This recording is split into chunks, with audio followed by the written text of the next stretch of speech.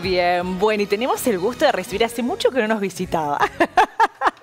Muy bien, a Eli Catán de Tierra Madre Cerámica le damos la bienvenida con una propuesta súper linda. ¿Cómo estás, Eli? Hola, Juli, ¿cómo ¿Todo estás? bien? Tanto tiempo. Sí, mucho tiempo, Mucho, así mucho. es. Bueno, con una propuesta que nos invita a conocer un poquito más acerca de la simbología de la cultura mexicana. Milagritos mexicanos hoy, Sí, ¿cómo es eso? Hoy hacemos, bueno, eh, este año en el taller eh, ha sido muy especial. Es una actividad que ha sido muy elegida para hacer. placer. Ha habido workshop, Sí, sí. todos de milagritos ¿Por qué mexicanos. son tan aceptados? ¿Por qué son tan queridos? ¿Por qué la gente realmente disfruta tanto de hacer esto? Eh, el año pasado que tuve la oportunidad de conocer México, Sí. bueno, para ellos los milagritos mexicanos eh, significan este, buenos augurios para sus hogares. Ah. Generalmente los cuelgan en las puertas de sus hogares y es como, es una bendición para ellos. Ajá, y se hacen diferentes formas de cerámica, pero todas con eh, un corazón. Siempre el corazón, Ajá. siempre el corazón. Mira, Siempre el y corazón. es libre de acuerdo a eh, bueno cómo se lo va ornamentando, cómo se lo va decorando Sí, en cuanto a los es. colores. Hay como distintas capas, diferentes. Sí, es de acuerdo a la creatividad, ¿no? De- uno le va, lo va armando, incluso los mexicanos usan mucho el color, ¿viste? Que son ellos muy coloridos. Una explosión sí, de una color. explosión de colores. Nosotros somos un poco más tranqui, pero Mirá. eh, son muy llamativos a la hora de, de ponerle un color a, a sus corazones. Muy bien, bueno, y eh, contanos cómo es que aprendiste vos eh, a hacer estos milagritos, o de tu primer milagrito mexicano. Mi primer milagrito. Sí. Eh, bueno, es algo muy especial para mí. Bueno, está muy en mi taller. Sí, para mí es algo importante y bueno, después de todo lo que he vivido en México, eh, significa Quisiste algo especial. también, ¿no? Obvio, obvio. Ahora lo vamos a compartir y vamos a mostrar el procedimiento, que es algo simple, no Sí, es nada sí. complicado y es algo lindo como para ponerlo en un, mm, armar cuadritos en una pared para decorar o para armarlo en la puerta, para ponerlo en la puerta. Sí, sí. O sea, tienes como mucha opción para decorar. Muy bien, me encanta, me encanta la idea y por supuesto, bueno, cargada de toda esta simbología, de todo este, este significado, ¿no? Que se le da de protección, de buen augurio, justamente que tiene que ver con la cultura eh, mexicana. Muy bien, nos apropiamos un poquito de todo esto para hoy hacer nuestros propios milagritos mexicanos. Bueno, ¿cómo comenzamos? A ver. Bueno, armamos. Eli. Eh, me he traído, mm, no sé si tenías una lista de materiales, Sí, después lo vas a poner la vamos a pasar, muy bien. Cuando vayamos cerrando el bloque lo pasamos. He traído un poco de arcilla, pasta. Ajá, Vamos muy a bien. cortar. Sí. Ahí vamos. Bueno, con musiquita mexicana que nos va acompañando, por supuesto. Un palito de amasar. Sí. Trato de no hacerlo tan finito. Muy bien. Siempre de los dos lados lo amaso. Sí. Como que hagamos una pasta. Ajá. Muy bien. No debe ser tan fino, ¿no? Esto que estiramos. No, no, no. Eh, más o menos de 5 milímetros. Ajá. He traído eh, unos cortantes. Sí, que de corazón. Todo el mundo debe tener en casa para hacer galletitas. Claro, Generalmente sí, hay en casa sí, esto. ¿eh? y si Eh, no, bueno, hacen, dibujan un corazón y lo cortan y lo Se marcan. dibuja, lo marca. Todos deberíamos saber dibujar un corazón. Sí, Entonces, bien. Bueno, una técnica y por supuesto, bueno, toda una historia eh, que nos conecta mucho con la película Coco, ¿no? Exacto. Y yo más o menos tengo uno acá armado. Lo voy a armar así. Mira, ¿eh? hermoso. Eh, y lo, lo voy a replicar acá. Ajá, bien. Ahí vamos. Es toda una sola pieza, a pesar de que parece que son Es dos una partes, sola es una sola pieza. Ajá, Después vamos a encastrar el otro corazón. muy bien. Ahí vamos. Bárbaro. Muy bien. Ahí vamos separando entonces. Trabajas entonces con cortantes. Uso con cortantes. estecas. Que es un cúter.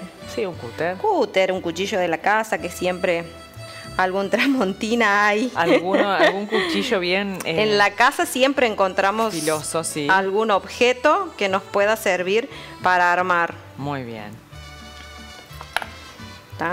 Bárbaro.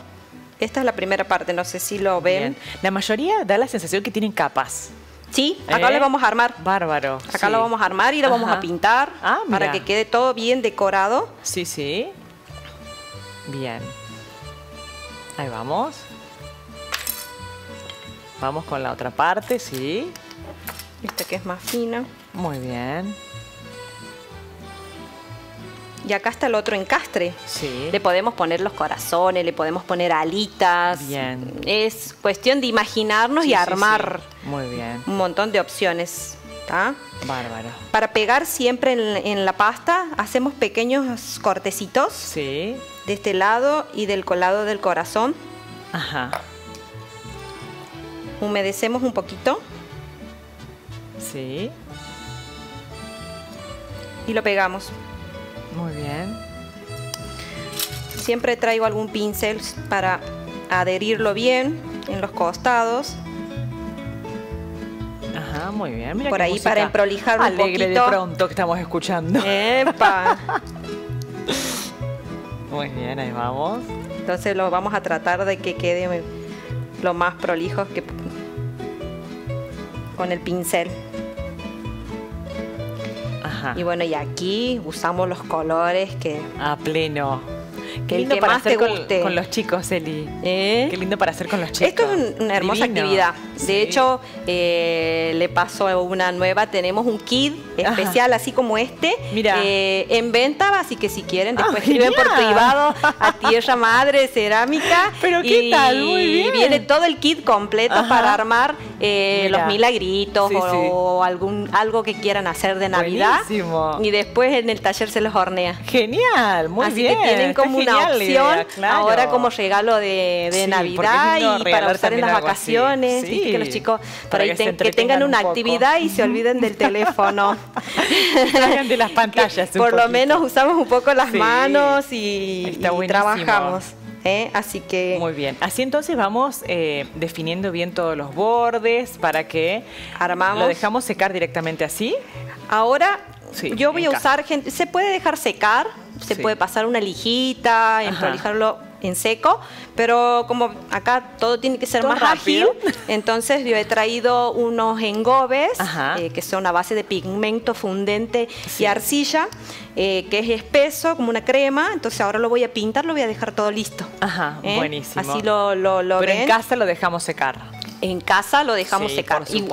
igual de todas maneras, una vez que si lo pinto en húmedo, esto es un proceso largo. Sí. Tiene que secar para ir al horno, sale del horno, se esmalta, vuelve al horno y queda Bueno. el brillo ese que es el vidrio. ¿eh? Buenísimo, sí, sí, Así sí. que ahora vamos a pintar un poco. Dale, a ver con estos engobes. Muy bien. Vamos a usar este un poquito. Ahí ya tenés preparados los pigmentos. Qué lindo ese color. Un celeste. Precioso. A veces cambian mucho los colores luego de ser horneados, ¿no, Eli? Se intensifican más Ajá. los tonos en el horno. Bien. Le vamos a dar un amarillo. Sí. Medio pistacho. Qué lindo. Es hermoso. Después te voy a hacer ver cómo quedaría seco. Ajá. Ah, ¿Es amarillo, amarillo? Sí, sí. Mira. Bueno, hermosa combinación, mucho color, por supuesto, Mucho. para nuestros milagritos mexicanos. Sí, viste que todo llama mucho la atención esto en, en los colores, la forma, incluso acá se puede hacer puntitos, rayitas, Sí, sí, sí. lunares. Bueno, esto De todo un poco, ¿no? A es- jugar con la imaginación. eh, por hay que jugar. Sí. hay que jugar. Está todo permitido, vale todo, Todo. estos milagritos. ¿eh? Que, sea eh, color y decoración, vale México todo. es todo mucho color. Mucha alegría, así es. Sí, sí, sí, sí, sí. Muy sí. bien, vamos con el naranja, un Vamos. terracota. Y mira. Ah, mira, no, intenso, más. Sí, sí. Casi fluo. Muy bien. Perfecto, y vamos pintando todo.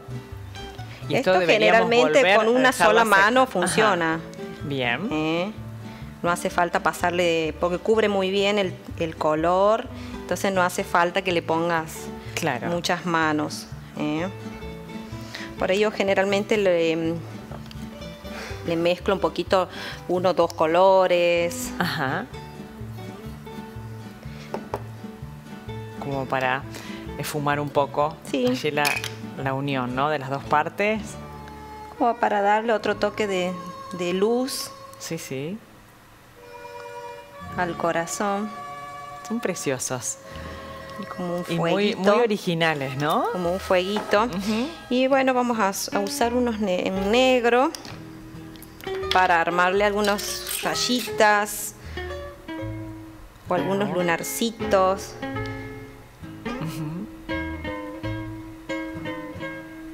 Muy bien. Bueno, siempre la única consigna entonces me da la sensación es eh, respetar siempre la forma del corazón. El corazón. El corazón presente, por supuesto. Hay personas que hacen altares corazón. y en el altar ponen el corazón. Mirá. También se hace, milagrito. usa mucho los altares. Sí, sí. Los altares y adentro va. Bueno, sabemos que en México, bueno, se hace justamente, viven de una manera muy especial el Día de los Difuntos también. Fui ¿no? a esa fiesta. Sí, es una belleza. me, realmente. me impresionó mucho.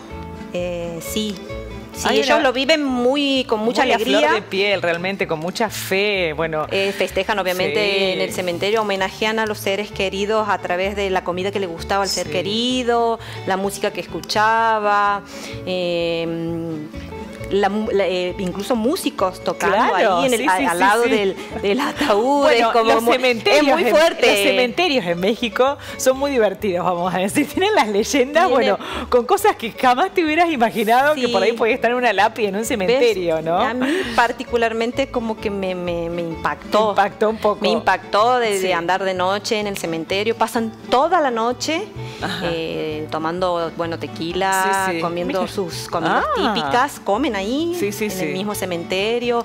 Música, muchas flores, mucha alegría. Lo viven Pero las leyendas que hay en la... En la, en- La son- misma de Coco, de la película, es lo mismo, exactamente, es, la- tal cual. Tal cual, Es tal, cual. Es hermoso, ¿no?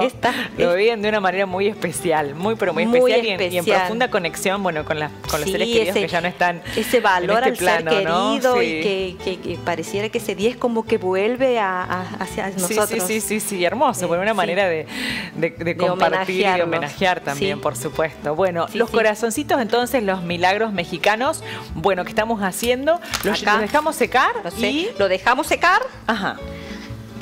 no sé si Mira, lo ven precioso, Sí, ahí se ve perfecto, muy bien. ahí, en este. Ahí lo vamos bueno, a mostrar. Ahí lo acá. Sí. y Ajá. tengo uno armado, Muy bien. que es el mismo, Sí. en seco. Esto tiene que ir al horno, este está, todavía está crudo. Ajá. Se tiene que cocinar, una vez que se cocina intensifica el color Sí. y bueno, y sale al horno. Y hice Muy otro bien. más, por las dudas, Ah, como para manera. que vean otra opción. Qué manera de hacer milagritos mexicanos, mirá ese qué hermoso. Entonces- Muy bien. Y después entonces lleva el baño. va, se cocina primero Sí, esta parte, sí. sale, se esmalta Ajá. y bueno, y acá tenemos las El terminaciones. esmalte listo. sería como la parte Eh, final el que le da esmalte esa, es la parte esa capa final. brillante, ¿no? Es, es un vidrio. Ajá, perfecto. Es un vidrio que funde con calor. Y después lo pueden utilizar en cuadritos o también para colgar o bueno, para regalar. Este corazón es que tengo acá, que armé acá, es este. Sí. Mira cómo se intensi- intensificó Sí. el color. Precioso, ahí lo estamos viendo, mirá. Hermoso, muy lindo. Bueno, ahora sí vamos a poner la lista de materiales en pantalla para que puedan tomar nota. Son muy pocos materiales realmente los que necesitamos para estos milagritos mexicanos. Bueno, pasta, arcilla, claro que necesitamos pasta, arcilla o algún cortante con forma de corazón y si no, bueno, un moldecito con forma de corazón o a mano alzada. O a mano. un corazón. Sí. Algunos pinceles, engobes con diferentes colores, colores vivos, vibrantes, más cortantes, bastidor. Eh, justamente para trabajar sobre un Sí. lienzo y si no sobre una tela. Sí, sobre alguna tela de algodones para Sí. que, porque por ahí en, en la mesada se pega la pasta, Claro, entonces sí, para no evitar que se pegue, Muy bien. usamos una tela. Hermoso. Y esponja justamente para, eh, bueno, Por ahí puedes corregirlo. repasar los bordes y dejarlo Exactamente. Muy bien, me encantó la idea. Muy Bueno, bien. Precioso todo, realmente. crear. A crear. A crear y bueno, ahora que se vienen las fiestas para ¿Y qué se, viene, regalar. qué se viene con lo tuyo? Ay, tenemos un A evento ver. muy especial en el taller. Mira. La semana que viene nos va visitar eh, la artista Dolores Belani. Ella pinta sobre bizcocho. Mira. Eh, dibuja maravillosamente. Hace un. Mira, y nos viene a visitar desde Buenos Aires. también. A Por supuesto, la traemos. Llega el viernes a la mañana. Ah, bueno. El viernes a la mañana llega. Muy bien. te llegas para allá al taller. Bueno, ya vamos Llegate al taller, va a estar muy lindo. Viene gente de afuera. Qué lindo. De La Pampa, de San Luis. Bueno, una especialista en pintura. Ella pinta sobre, bizcocho. sobre bizcocho. Y dibuja, sí, hace animales, flores. ¡Qué belleza! Eh, sí, así que nos, y bueno, y preparándonos para el año que viene a recibir eh, muchos artistas. ¡Ay, qué lindo! Muy bien. se viene un año súper intenso eh, y lindo. muy, bien. Bueno, les mandamos saludos a tus alumnas que están siempre de festejo de cumpleaños. ¿eh? A todas las chicas que siempre me están mirando. Y sé que festejan los cumpleaños de la mejor manera. Unas súper tortas llenas de flores alegría, siempre. es hermoso. Y quiero mandarle un beso mis amigas, se llaman las comadres. Ah, mira, amigas muy viajeras que muy viajamos a todos lados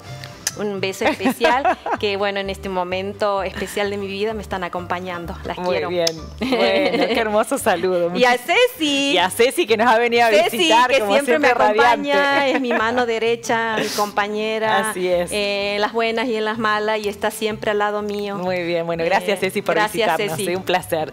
Bueno, Eli, muchísimas gracias por compartir este hermoso momento con nosotros. Eh, te esperamos pronto. Pronto. Muy pronto, y todo lo mejor. Una propuesta súper linda alegre y para pasar una tarde linda. Muy bien, bueno, gracias.